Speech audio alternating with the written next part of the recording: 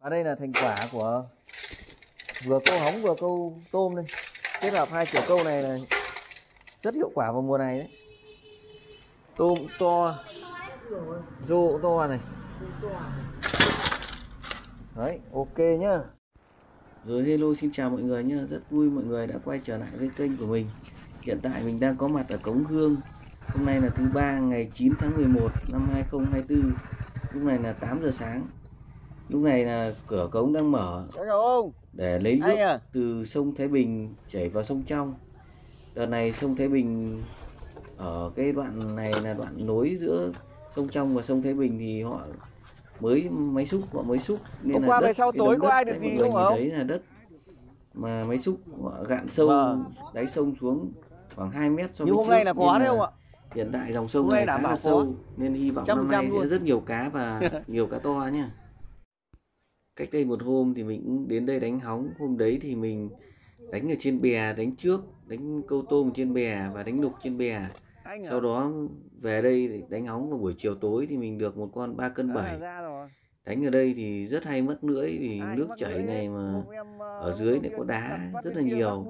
đá rồi nó nởm quá, chởm rồi những cái bao của người dân ạ. họ là làm đồng ấy họ vứt xuống nó vướng khi gặp nước chảy cá. càng trôi vào những cái vật đấy rất dễ mắc. Đây anh tú đang bị mắc này mình đang ra cần thì anh tú đang bị mắc. Con này có nặng nặng chứ nhỉ? nó cũng nặng hơn cần của anh này chắc rồi. Vì cần của anh là cần bãi nhật bao giờ nó nhẹ hơn. Bãi nhật vào đánh vẫn là ngon nhất. Nó đã đắt hơn gấp mấy lần nhỉ? Cái này nó chỉ ba ba bốn lần Cái C nhưng mà đánh nhẹ. cây C của anh mua bốn mấy đúng không Ba mấy? Ba rưỡi. như mắc cọc Thế vừa chiều nó cái lưỡi mà thì thành ra đúng mẹ cá thật. Thì mẹ nó thì em hai phát điểm. đúng rồi Bắt hai em cái thằng đó.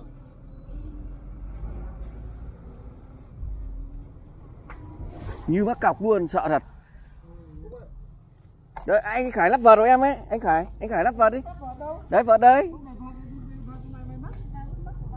để anh cứ lắc đi, để em quay video anh ơi.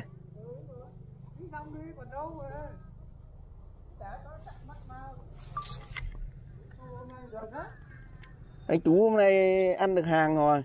Ui dồi chạy ra kìa. Anh ơi, bây giờ anh phải đi ra bờ ao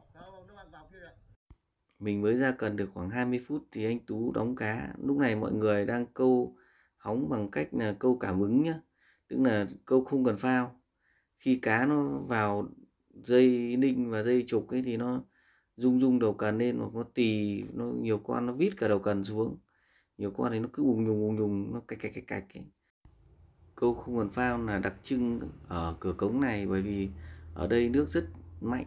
Đấy, mọi người để ý và xem nước nó chảy vào rất là mạnh nên mọi người, các cần thủ đều câu ở phía rìa, chỗ nước nó quẩn, nhưng vẫn không đặt được phao, vì khi đặt phao nó sẽ cuốn ngay vào cửa cống. Nên bắt buộc phải không cần phao để cảm ứng, cảm nhận. Khi cá nó vào thì nó bùng nhùng bùng nhùng, nhiều con thì nó vít cả đầu cần xuống. Mọi người để ý cái mực nước lúc này nhé. Lúc này là nước thủy triều đang lên đỉnh và đang đứng nước. Một lúc nữa là nước thủy triều sẽ xuống dần mùa này thì bắt đầu của mùa câu hóng nên là cá vẫn chưa rộ nên là mình chỉ câu hóng lúc nước đang lên đỉnh thì sẽ dễ chạm cá to. Sau đó khi nước khi mực nước xuống thấp thì mình sẽ đi lên bè cá để mình đánh tôm như mọi người nhé vì mùa này đánh tôm đang rất là hiệu quả tôm đang ăn khá là mạnh. Con này ghi này con hàng rồi. Không cho xem mặt luôn. còn đâu nó mới lên anh ạ vẫn còn xa lắm vẫn còn bốn năm mét cần commando ấy. Rồi đây vào đuôi vào đuôi vào đuôi Có cá nha anh em. Thế đi, mẹ tổ con này phải chục cân rồi. anh anh nắp vào chưa Đắt rồi. Đây ra ra vợt đi ra vợt đi anh ơi anh ơi anh ra vợt hộ cái, vợt này cái ra vợt dài lên anh ơi dựng cần lên chứ anh Ê, tưởng 4 5 cân. vào đuôi. Cũng phải không không không không phải ba cân mấy. Không hơn cân thế nào? Cái này. Ơi con này ba cân chả ba thì sao nữa? Cân có chắc chắn Ờ, trông thế ở dưới nước thế thôi. Đóng vào đóng vào đâu nhỉ vật vã đấy. Đóng đuôi. vào đuôi. Vào đuôi nó mới chạy kinh đấy được đấy. Ta đã đắp rồi. Đúng rồi. Bắt sao nó ghi nữa Đây, tao đứng lại chim. Đúng rồi. Báo cá có cái dai không? Có ờ, có dai. Đến khoảng 10 giờ thì cửa cống bắt đầu đóng xuống bởi vì nước thủy triều nó bắt đầu rút thì để giữ nước ở bên trong đồng thì cửa cống bắt đầu đóng xuống để giữ nước trong đồng. Nếu không đóng cống thì nước trong đồng sẽ chảy hết ra sông ngoài. Và đến ngày mai thì khi nước lên thì họ lại mở cống để lấy nước ra. Và khi nước thủy triều lại xuống để bằng hoặc là thấp hơn nước trong đồng thì họ lại đóng cống để giữ nước trong đồng lại. Và cứ như vậy cho hết mùa hóng. Lúc này cửa cống đang đóng dần dần, đóng xuống và sẽ đóng tì thản lúc này nước sẽ chảy chậm hơn bởi vì nước trong với nước ngoài nó sẽ gần bằng nhau, nhưng nước nó vẫn khá là mạnh. Lúc đầu thì câu không cần phao ở phía ngoài rìa hai bên mang cống. Sau khi đóng cống thì có thể câu vào trong mang cống và khi đóng cống hẳn thì chúng ta có thể nắp phao để đánh được.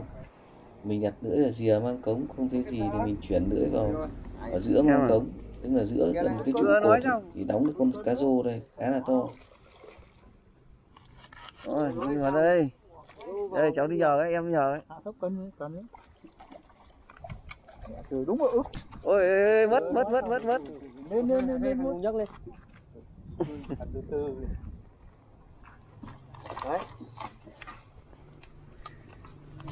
dụ ngay. Đấy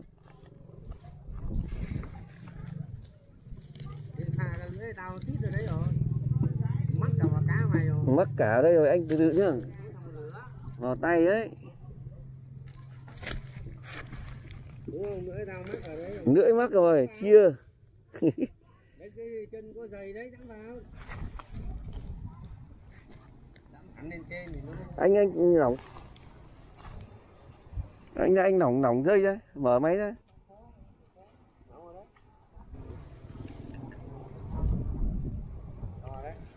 Rồi anh ạ, xong rồi. Bây giờ khoảng 12 giờ trưa rồi, mình nghỉ tay. Mình đi ăn bánh vì buổi sáng mình mua một cái bánh giò và một bánh dặm đưa cho, cần cho cần thủ trưởng, là người ở địa phương gần đây ra ngồi câu, còn mình sẽ đi ăn trưa đây.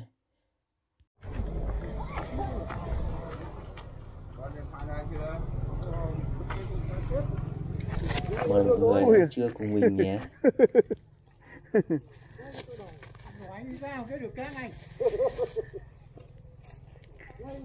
Các ông các anh ăn bánh nhá. Bắt con nữa mà. Vâng. Ăn trưa xong mình ngồi câu hóng đến khoảng một rưỡi mình ra bè cá mình câu.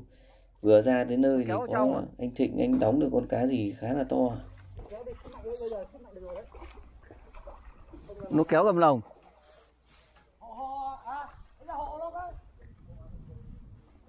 bác. Tính ra xúc của anh ấy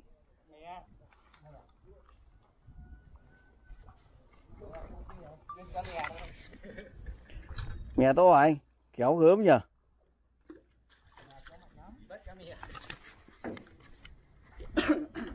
Mẹ cá kéo kinh đấy. Em ở trên kia nhìn thấy anh đúng lúc anh đóng cá mà. Nó chạy gầm lồng ác nhỉ mè to phết. Giờ mình đi kiểm tra mấy cái chai này, tối hôm qua mình để. Ủa tôm vẫn còn chứng tỏ mồi không ăn. Chứng tỏ không ăn rồi từ hôm qua đến giờ, mình câu tôm bằng mồi tép, mình thả mồi từ tối hôm qua mà hôm nay vẫn còn. Nên mình vẫn cứ để cái mồi cũ mình chuyển sang vị trí khác để xem tình hình thế nào. Sau khi chuyển vị trí này mà nó vẫn không ăn thì có thể mình sẽ đổi sang mồi khác, đó là mồi run. Đây mình được con gì đây rồi này? Chắc tôm đây rồi này, vít đầu cần này. Xong cẩn thận mất giật bật bật bật bật bật. Mọi người nhìn đầu cắn hơi bật bật bật bật. Cảm giác tay rất là rõ ràng ấy. con này nhức nhỏ nhỏ thôi không to lắm. Bật bật bật bật. À, lên đây bắt đầu vít.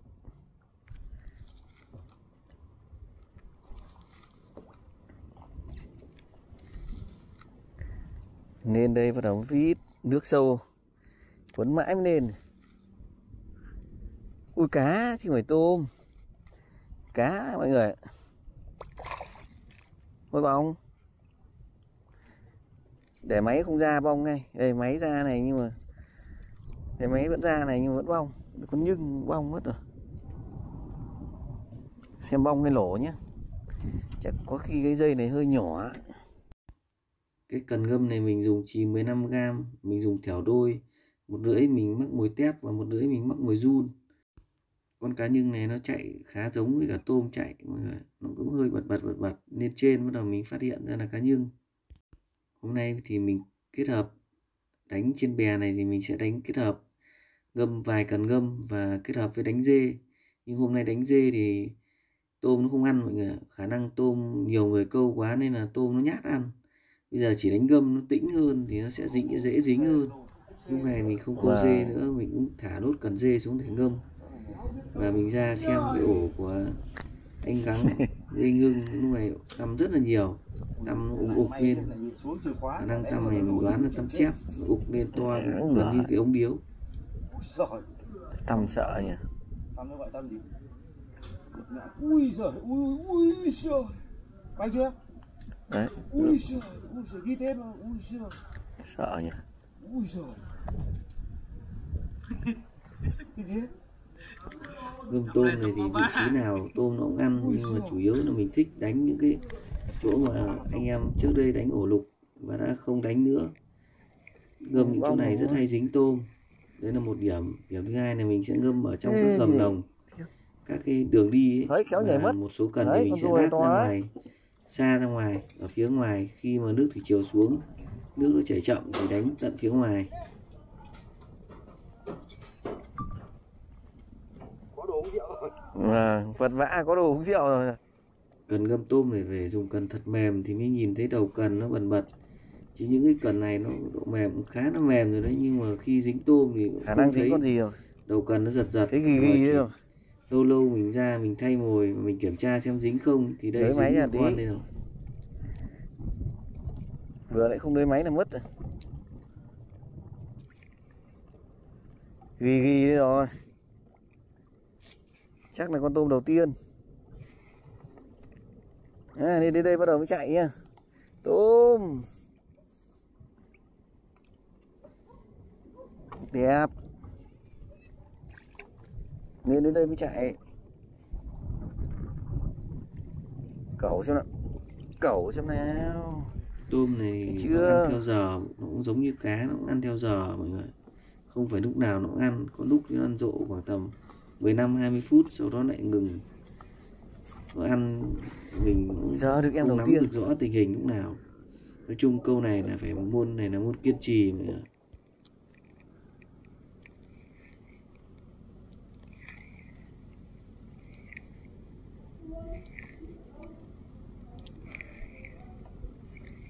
có con gì rồi? Tôm bé thảo chỉ hơi hơi hơi hơi đập bập. Đây là tôm càng. Tôm càng bé tẹo.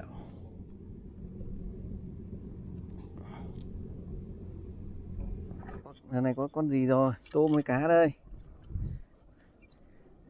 Này tôm với cá đây rồi?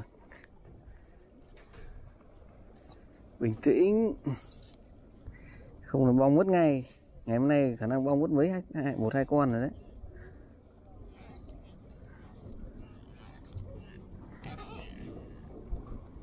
Ghi ghi này tôm à, đều nó ghi này. Nó ghi gớm lắm. Nó vướng vào đâu rồi đấy? Đây là cây cần dê của mình. Mình không dê nữa thì mình ngâm.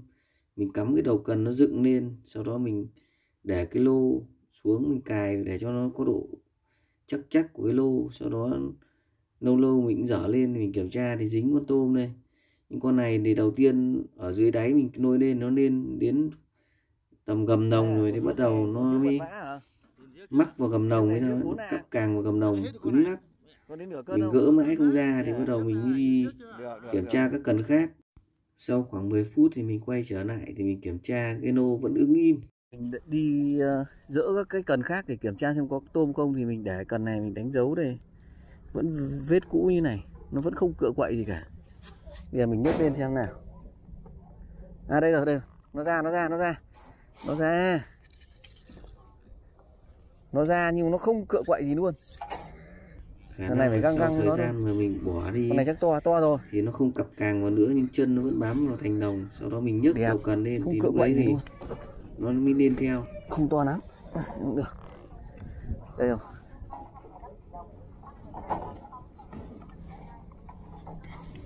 Giờ năm rưỡi chiều thì tôm nó không ăn nữa rồi mình sẽ thu đồ về mình sẽ quay trở lại tống gương xem tình hình thế nào. Được hai con tôm thôi. Ở đây có được con gì không anh? Hai tôm bé thôi. Anh vừa đi thì anh cũng về. Thấy bảo mốt nào không ai được.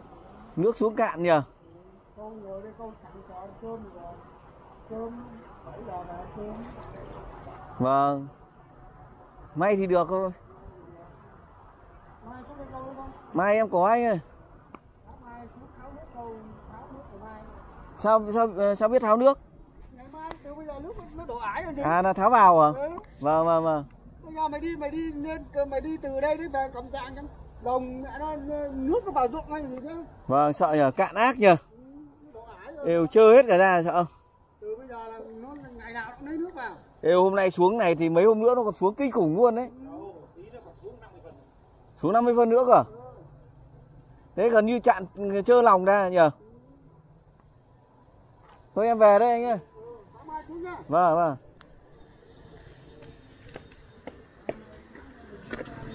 rồi cảm ơn mọi người đã xem video nhé xin chào và hẹn gặp lại mọi người ở video tiếp theo.